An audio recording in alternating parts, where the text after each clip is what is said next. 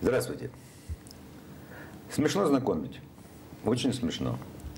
Светлана Самойловна Фабрикант. Здравствуйте. Здравствуйте, Игорь Николаевич. Ныне председатель правозащитной организации «Совет Одессы». Между прочим, замечательное название «Совет Одессы».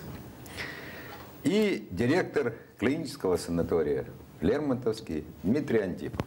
Добрый день. Добрый день. Вы уже все поняли. Санаторий Лермонтовский опять на экране. Итак, сериал о захвате клинического санатория Лермонтовский продолжается. Недавно состоялась шестая серия захвата, которая закончилась также, слава богу, как и предыдущие пять, тем, что захватчики ретировались и ушли. Но, и вот тут но. Ваш выход, Светлана Самойловна. Да, Игорь Николаевич, спасибо большое. Вот с одной стороны, конечно же, мы с Дмитрием чувствуем здесь себя как дома, и очень комфортно, и хочется улыбаться, и хочется смеяться над всей этой ситуацией, но, к сожалению, то, что мы понимаем, что мы чувствуем, не дает нам такого права. 29 э, июня Простите. 8 утра. Простите. Да. Давайте посмотрим. Давайте. Давайте, тогда У я нас просто добавлю, чтобы не пересказывать. Да, документальные да, кадры. Да, потому Итак, что 29 июня утром, утром было очень напряженным и очень неприятным. У входа в Лермонтовский да, санаторий. Да. Прошу, сюжет. В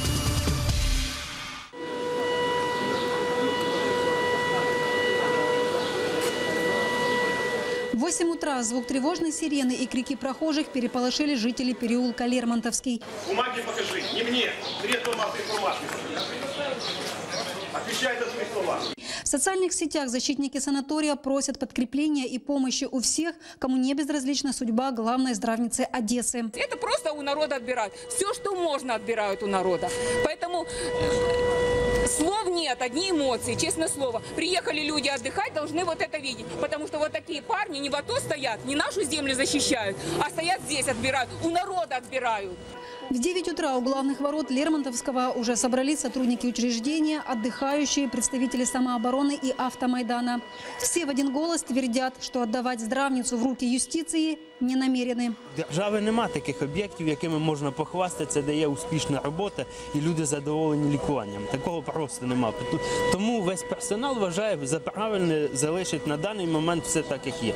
А оставить все как есть, значит признать за акционерным обществом Укрпрофздравница право собственности на санаторий Лермонтовский, с чем представители исполнительной службы, да и новый, как он себя представил, исполняющий директор, не согласны. Возвращаем государственную собственность. Это первый санаторий на всей Украине, который вернули из частных рук в государственную собственность, вернули людям. А также помимо того, что Укрпроздравницы, э, в этот санаторий мы вернули э, здания, сооружения, которые находятся в частной собственности. А, как вы видите, вот сзади вас там отель Лермонтовский. Защитники санатория Лермонтовский считают, что в случае, если исполнительная служба все-таки выполнит решение суда, эту землю просто раздеребанят хваткие чиновники, а у народа не останется ничего. Представители юстиции, которые пришли сегодня исполнять свою работу, они руководствуются решением суда, которое уже давным-давно утратило свою силу. Потому что после этого санаторий Лермонтовский выиграл э, в апелляционном Одесском суде и есть решение, отменяющее право собственности за санаторием Министерства юстиции. Что санаторий находится на территории уникального природного парка, общая площадь которого 10 гектаров. И, по словам директора, сегодня здравница полностью себя окупает. Теперь Министерство юстиции хочет заняться самым главным – захватом 10 гектаров земли возле моря. Шестой раз одесситы им говорят «нет», но тем не менее их желание не может угомонить ни решение суда, которое оставило без рассмотрения их иск, ни воля одесситов, ни мнение горожан, ни отдыхающих, ни врачей. Когда идет преступление... Итак, вот то, что состоялось, и, наверное, вы хотели об этом да, и говорить. Да, конечно. Ну, уже же. все ясно. Да, Шестая уже все серия ясно. закончилась. Э, э, уже все ясно, это шестая серия, и я очень благодарна всем э, коллегам, э, и Игорь Николаевич, и вам прежде всего, и многим другим, и телеканалам, и журналистам, которые приезжают и поддерживают, потому что как только появляются камеры, так сразу же все начинают вести себя по-другому. Но вот то, что мы видели сего- сегодня, вот сейчас в сюжете, это уже чуть-чуть позже. Это уже немножко спокойнее. Видите, мы уже там а, объясняем, рассказываем про решение суда и так далее. А в 8 часов утра, когда в переулке, в переулке Лермонтовский появилась стройная колонна товарищей в черном, в бронежилетах, с дубинками, без всяких опознавательных знаков, сопровождающих э, большую бригаду, состоящую из 30 человек э, исполнительной службы, а здесь стоим мы, ты да я да мы с тобой. Первый рабочий день после праздников. Лю- людей никого нет. Коллектив, э, м, довольно пожилого возраста люди, э, Дима, я и еще там, может быть, пару человек. И мы понимаем, что вот сейчас, наверное, это и будет та самая амбразура э, Матросова, которую нужно будет защищать. И, конечно же, мы ринулись, и, конечно же, мы стали всех обзванивать, и, конечно же, мы стали всех просить приходить.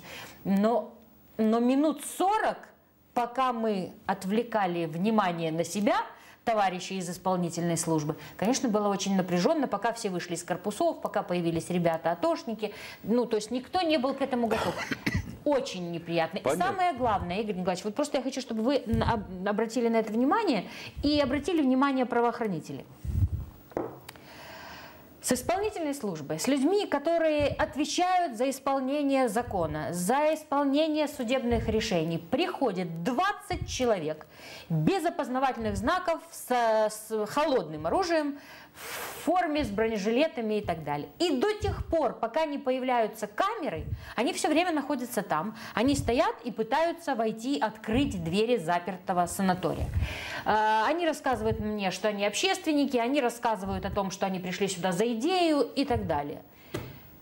И как только появляются камеры, они получают команду ретироваться назад в автобус, снять с себя все облачение. И когда нормальные люди, понимающие, что это нарушение, что в мирном городе появляются неизвестно какие люди с оружием, мы задаем вопрос и милиции, а милиция, соответственно, исполнительной службы, исполнительная служба говорит, «Да мы не знаем, кто это и откуда они взялись. У меня Как вопрос возникает. У меня сразу возникает вопрос.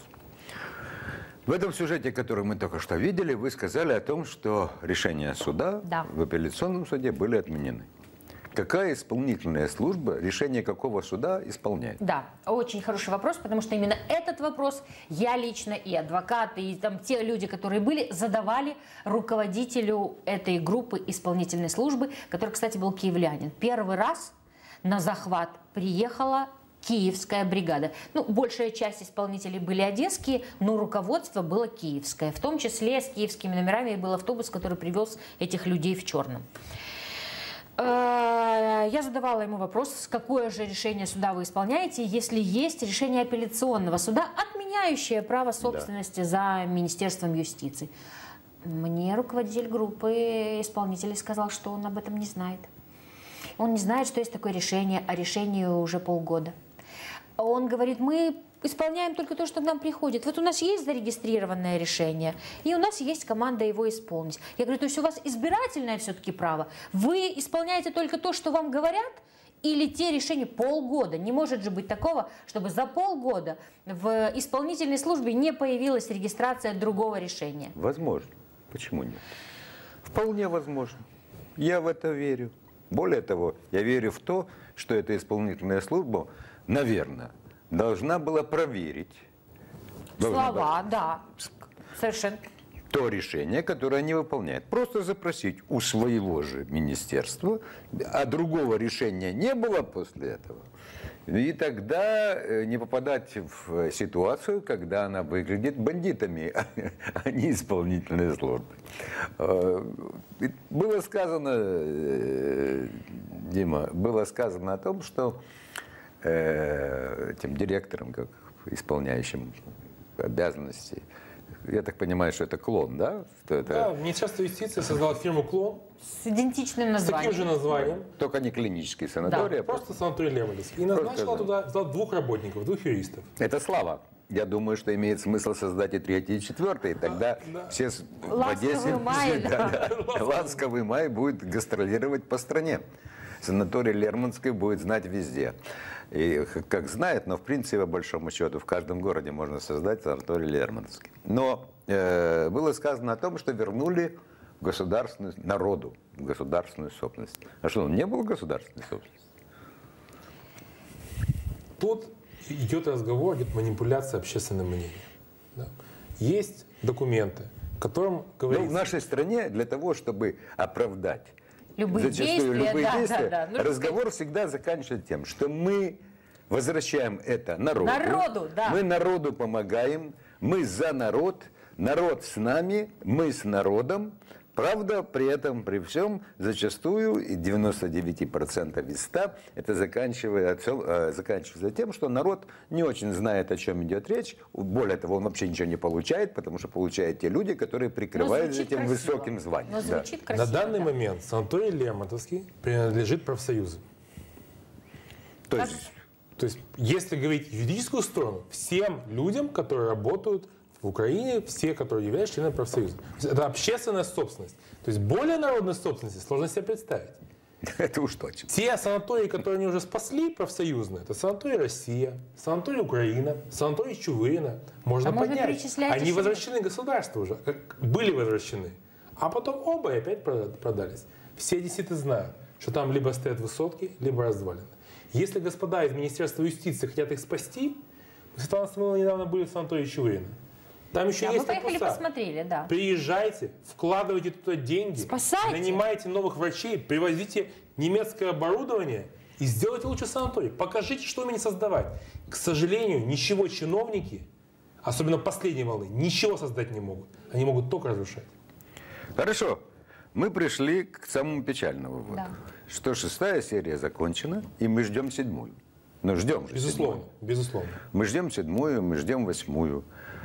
Сегодня не есть решение. ждем. И, Сегодня э, есть решение суда, насколько Да, я да, слышал. вот я как вот раз я об этом расскажите хотела об этом, сказать. да. Знаете, где- Очередного суда. Да, да, Вот мы, тоже мы, мы не, мы не суд. просто э, так ждем, мы, конечно же, все вместе пытаемся э, защищаться, продолжая верить, что все-таки закон в нашей стране должен быть. Э, в апреле месяце санаторий Лермонтовский выиграл э, суд, первую инстанцию хозяйственного суда за движимое имущество, на которое в том числе претендовало Министерство юстиции. Ну, вы знаете, такая смешная ситуация, как обычно там у нас это бывает. Мы хоть говорим, что это наше, но в суде ответить на вопрос, что именно ваше, на что именно вы претендуете, мы не можем. Но мы точно знаем, что это наше. Вот примерно, конечно, Да. так банально, но примерно вот такая позиция была у Министерства юстиции. И, к счастью, первую инстанцию одесские судьи отказали Министерству юстиции в этих их требованиях, и все осталось за санаторием. Министерство юстиции не имется, они подают в апелляцию. И вот сегодня было рассмотрение в апелляционном э, хозяйственном суде э, коллегии судей, которые снова рассматривали так все-таки эм, клизма 60-го года производства, она все-таки принадлежит санаторию Лермонтовский, на который он претендует, вот, потому что они претендуют на все, что было передано в 60-м году, в 1960 году. В том числе и на старые вот эти замечательные, как они называются, Тренажеры. тренажеры, которые Да, до, да, до сих пор работают. расхаживают, Да. Ну, то есть там были перечислены такие вещи, э, они, они даже они не знают, что это такое, что это из себя представляет, что это за прибор, для чего он нужен. Но они претендуют, в итоге на самом деле все оказалось разговорами. И я искренне благодарна коллегии судей одесских сегодня, которые, несмотря на то, что они находятся в юрисдикции Министерства юстиции, и, и у нас, к сожалению, продолжается телефонное право и давление, они берут на себя смелость принять решение не такое, которое от них требует. Ну, прямо скажем, что вот как раз реформа суда в действии, прямо скажем. Хорошо. Вопрос, который я никогда не... На ответ я не слышал никогда. Скажите, пожалуйста. Я понимаю, что Министерство юстиции вот уже достаточно долгое время борется за Лермонтовский.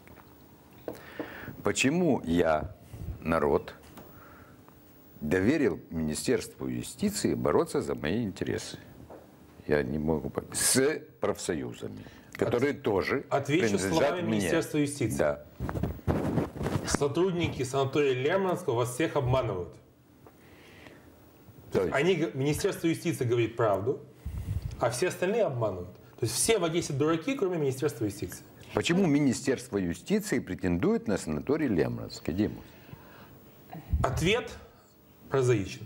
Только Министерство юстиции контролирует суды, только Министерство юстиции контролирует исполнительную службу, и только Министерство юстиции э, контролирует записи в реестре прав собственности. Хорошо. Манипулируем тремя рычагами. Я, друг- я другой вопрос. Я. Да, по-друг- по-другому. Я по другому вопрос. Я, я хочу знать. Я Министерство сельского хозяйства. Я тоже хочу это Совершенно верно. Почему Министерство юстиции? Я могу... Я Почему министер- не более логично Более было того, бы там Министерство здравоохранения, к примеру? Петренко, Вы не, Не вы важно. не комплимент. Я хочу. Я Министерство тяжелой промышленности в свое время Да. у нас было.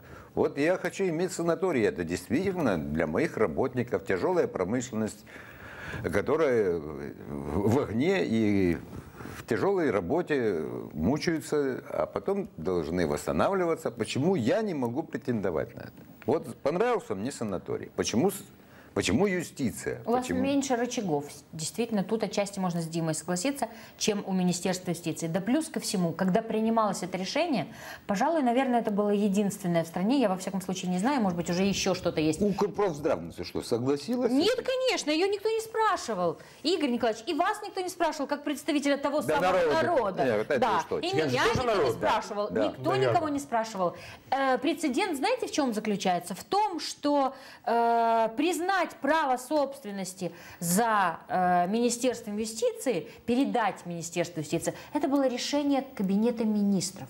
То есть директивой, решением Кабинета министров было принято, э, была принята смена собственника. Такого вообще никогда, Никогда не не- было. не может это происходит, правильно? Это происходит в судах, это ну как угодно, но никаким образом не распоряжением Кабинета министров. А в данной ситуации с Лермонтовским это произошло именно так. Поэтому это, это вообще за гранью, и тем более, что это решение Дорогие исполняет мои, дорогие Минюст. мои, Да. сегодня ясно совершенно, вот в этой передаче мы выяснили, что Лермонтовский – это своеобразное межгорье, которое, ну, которое тоже принадлежало Иванову Да, Петрову, не да. принадлежала Януковичу, Нет, да? конечно. Она принадлежала какой-то фирме даже. Фирма называлась там э, Клюев и сын, предположим. Ну да, что-то Да, что-то да. там было. Да? Она ничего общего не имела с нашим бывшим президентом. Все эти золотые батоны, все эти пеньки, все. ничего общего. Это он арендовал, это вообще-то не его. Он мог смело об этом говорить. Поэтому это э, ситуация, которая явно совершенно сводится к тому, чтобы понятно отобрать этот санаторий, а затем решать вопрос с его будущей судьбой с точки зрения коммерческой, понятно. 10 гектаров земли, замечательно, действительно. Парковой, над морем, Но ведь вы понимаете, что мы не убережем при бесконечном наступлении, взятии, и оборона всегда м, когда-то заканчивается. Да, и заканчиваются патроны, да. заканчивается питание, заканчивается вода, и все защитники выходят. На осадном положении Да. быть долго очень сложно. Да. Я с вами абсолютно Да. согласна. Знаете, Игорь Николаевич, вот у меня одна... э, Наверное, даже, может быть, кто-то сейчас со мной не согласится, кто-то скажет, вот она там опять в чем-то своем. Вы знаете, вот ну, я себя 29-го утром тогда словила на мысли, что возле санатория собрались люди, ну, уже когда начали собираться и съезжаться, которые, ну, буквально, наверное, за час до этого, если бы им кто-то сказал, что не санаторий, в жизни бы рядом не встали. Я никогда не стала бы там с теми людьми, которые сегодня в форме и которые, с которыми я совершенно могу не совпадать во взглядах. Лермонтовский в Одессе сегодня становится центром объединения людей с совершенно разными взглядами, с разными совершенно там политическими и неполитическими, и военными, и невоенными взглядами. Он может стать объединением всех одесситов. И э, вот это единственное, пока ничего другого, это единственное, что сегодня дает надежду, что туда никто не зайдет. Потому что когда рядом стоят, как говорят сегодня, ватник и укроп, Да. и им сейчас все равно, и они не делят, у кого какого цвета глаза, нос или там что у него на рубашке, а они оба стоят хором. Я, я была свидетелем, потому что я сама там находилась. Когда они оба кричат э, Минюсту, говорят, я здесь лягу трупом, но ты туда не пройдешь. Причем говорят на одном языке Ну, и друг понятно. друга понимают. И, понимаете, вот это, это, конечно, то, что ни за какие деньги и никакими бумагами и распоряжениями не купишь. Поэтому, э, ну опять, все равно, конечно, это эмоции. Все равно люди будут заняты, все равно люди будут работать. И это не дает нам э, права говорить, ну все, раз мы все объединились, то мы железно сохраним э, Лермонтовский. Э, нам будет всем сложно. Поэтому мы очень хотим и просим эм, и подсказки, и помощи, и, и плеча в том, чтобы изменить повестку дня Министерства юстиции. Пусть они нас слышат. Мы устали и не будем, и считаем, что неправильно. Мы неведомые, мы одесситы, и мы не будем вестись на ту повестку, которую вы навязываете одесситам. Вот приходите, защищайтесь, пока не устанете, как, как э, прививка. А мы будем приезжать время а мы от будем времени, приезжать, да. 8 приезжать, часов пока утра, вы- в 7 да, часов пока утра, вы, в 6 пока вы не утра. устанете и вообще не перестанете приходить. Это примерно как история с ограблением, знаете, это подлинная история с ограблением армянского банка в, Ар- Да, в Армении, да. да. когда стучали по крыше, и все время при- приезжала, приезжала машина охраны и проверяла, и проверяла, и каждый раз ничего. А потом уже, когда в выходные дни действительно начали стучать, никто не поехал, потому что понимали, что это в очередной раз что-то такое, и вынесли все деньги. Вот у меня такое впечатление, что Минюст именно этого добивается, прививая нам то, что они вот приходят, уходят. Нет, они уже не просто так приходят, они уже приходят в сопровождении, значит, они готовы э, применять какие-то более жесткие силовые методы. Ну, а мы, я не буду вам, уважаемые представители Министерства юстиции, которые, может быть, сейчас э, ваши сторонники это передадут, мы, конечно, вам сейчас не расскажем, что мы будем делать и как мы будем готовиться. Но поверьте мне, вам будет тесно. И это точно, потому что одесситы – это все-таки особый народ. Ну что, пожалуй, время, да, закончилось. Я должен сказать, что заключение, это хорошо вообще.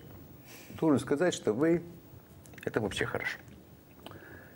Потому что вот защита чего-то очень благородного, очень такого чистого, это сейчас редкость, по большому счету, простите меня. Защита Одессы, она и защита Лермонтовского, она как-то вот созвучны. Лермонтовский, мне кажется, Одесса должна не просто защищать, она должна наступать. Она должна наступать.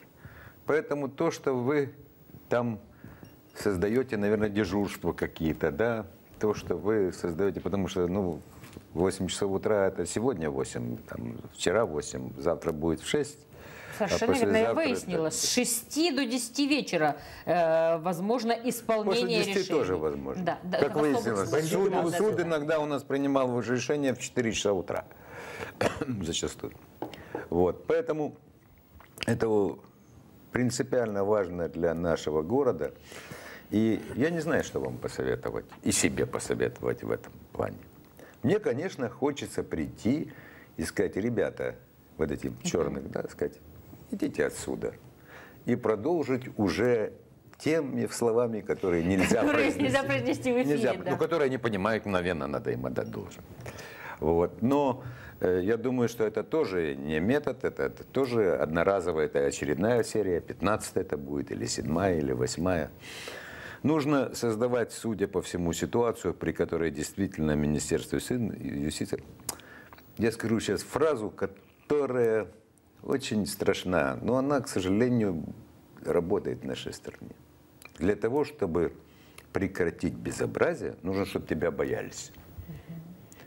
Только страх может позволить решить эту проблему. Страх будет это Министерство юстиции, будет это исполняющий обязанности фейкового санатория Лермонтовский, будет ли, ли кто-то другой, но они должны бояться. Бояться подойти, подступиться, как говорится, и принимать те как бы действия, которые вот уже сколько времени это длится? Уже год, наверное. Больше. Полтора года. Полтора Полтора года. Полтора года происходит в самом красивом, самом милом и дорогом для сердца любого одессита уголочке нашего города. Правда, уголочек действительно очень аппетитен. Поэтому аппетиты не просто растут, они не прекращаются. Ой. Увы. Будем помогать, чем сможем. Но опять же, надо бояться. Как ни странно, нас должны бояться. И давайте попробуем сделать так, чтобы боялись. Спасибо. Спасибо. Спасибо, Спасибо вам. вам. И спасибо всем, кто приходит.